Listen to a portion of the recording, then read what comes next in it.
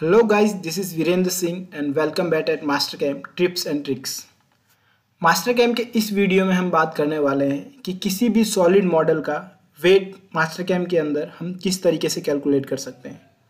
सो so, किसी भी solid model का मास्टर कैम के अंदर वेट कैलकुलेटर कैलकुलेशन करने के लिए हमें कुछ स्टेप्स फॉलो करने रहते हैं।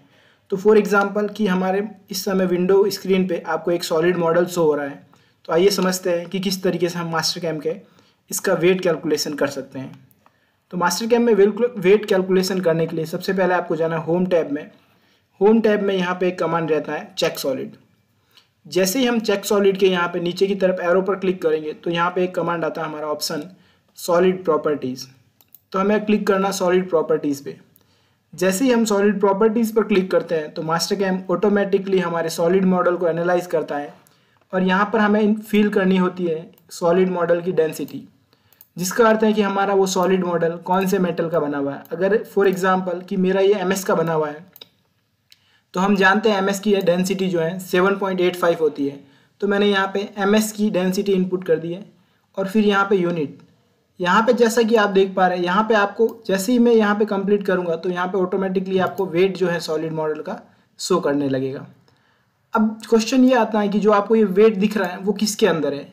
ये जो आपको वेट दिख रहा है, वो सेंटीमीटर ग्राम के अंदर जो वेट है, वो यहाँ पे शो करता है।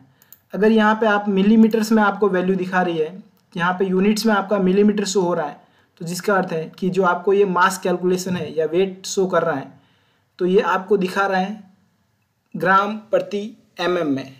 अगर यहाँ पे आप यूनिट को चेंज करके सेंटीमीटर में कर देते हैं तो यहाँ पे ये आपको जो वेट है, वो ग्राम पर सेंटीमीटर के अंदर यहाँ पे शो कर रहा है।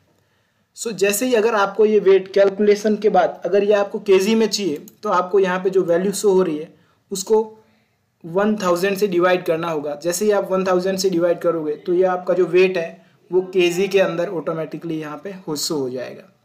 So thank you very much I wish कि आप समझ गए हैं कि मास्टर कैम के अंदर अगर हमें वेट वेट कैलकुलेट करना हो तो हम किस तरीके से कैलकुलेशन कर सकते हैं।